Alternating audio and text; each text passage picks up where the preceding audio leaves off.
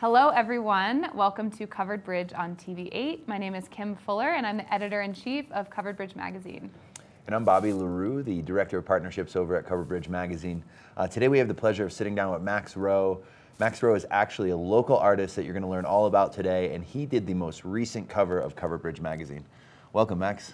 Thanks, Bobby. Thanks, Kim. It's great to meet you guys. So great to have you. So I will, um, it's not a spoiler or anything because the magazine is out and people can grab it, but here we are with the newest edition of Covered Bridge. So this art piece is absolutely phenomenal. It's called Red Shred, and how fun to put a piece of art on our cover. It's the first time we've done that with Covered Bridge. So Max, tell us a little bit about this piece and also the experience of, of getting this on the cover and just you know the article, interview, and all of that. How'd that go for you? It's been awesome partnering with you guys. Um, this piece in particular, I, I love that we ended up going with this. I think it really pops, and this this actually, funnily enough, this piece um, kind of started off a whole new uh, run of work that I did that was really kind of loose with the snow, um, and the ski or the snowboarder on the front, Taylor Godber. Um, she's a huge inspiration. I mean, her writing is amazing, and um, the photographer Guy Fatal. Um, so I, I I loved just getting the inspiration from those guys, and you know, in talking a lot about this article and this issue is about abundance. And for me, like with skiing and snowboarding, first and foremost, like abundance is all about POW. So I love to um, paint pictures of powder, and so this was really good, um, emblematic of that. And then, um, and also, yeah, just I I love to receive the inspiration. We're we're we live in this really awesome age where we have so much access to really cool inspiration from all over the world, and uh, I I feel really grateful to get to take inspiration from other people and turn it into something special and new, and then go out and inspire more people with that. More people to ski, more people to care about skiing, more people to care about art. Um, and, and everything in the magazine. So there's a lot of other really cool stuff in here too. Oh, well, thank you for that. Yeah. Now, um, the article really does get into how you get your mindset around painting. And, you know, we mentioned a little bit in there about the flow state. Can you speak to that? I mean, I think of snowboarding, number one, as like my most flow state, right? And I would imagine you're in a similar mindset when the brushstrokes are just coming together, right? Yeah, it's it's one thing that I love about like painting skiers and snowboarders is that, like you said, when you're out skiing and snowboarding, you can really get in that flow state, and so painting that subject matter also helps me get into that flow state when I'm painting, and I really feel like that's when I do my best work is when I kind of get into the flow. Um, because a lot of my work is like really splattery and really action oriented. So, kind of getting in the zone with it is really important for me because you have to really feel it.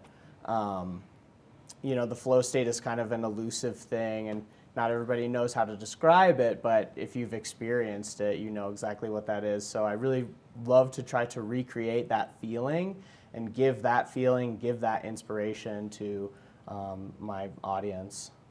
No, I, I really enjoy that, and you kind of nailed it with the flow state. Like once you once you've experienced it, you, you know what it is, right? But you can't always get there on a drop of a dime, Yeah. um, and it does take sometimes that that process of you know focusing on maybe your snowboarding to get into your mental mindset for for painting. Um, you brought up something unique about getting inspiration from others. You know, I, I looked at this cover and I don't have many photos of me shredding POW in the backcountry, but if I did, I would be like, wow, I'd love that on my wall. Is that something the audience could take advantage of if they have a really, you know, Absolutely, yeah. If you have a sick photo of you sending it, hit me up, send it to me. I'm always looking for new inspiration, and Cool. I love to meet the people that I get to paint. Um, that's a real treasure, honestly, to get to share that with other people. Um, but yeah, Max, what is your your art background and, and how has that evolved? Sure.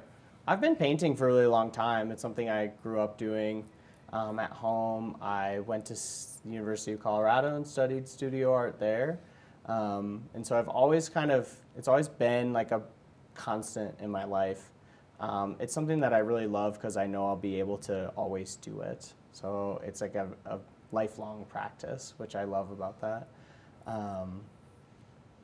Yeah. Uh, what was the question? Well, Sorry, you So can no- cut that part. so something, um, a, a quote that we have from you in, in this article, Max Rowe, Finding Flow Through Art and Skiing by Caitlin Emig. Um, that's the fun thing about art, is what you said. As I continue to grow and learn more about the world and myself, my art changes as well. It's something that always keeps me invested in doing it for myself. So, how has it evolved for you? So I've always I've always just really been gravitated to paint subjects of things that I'm interested in.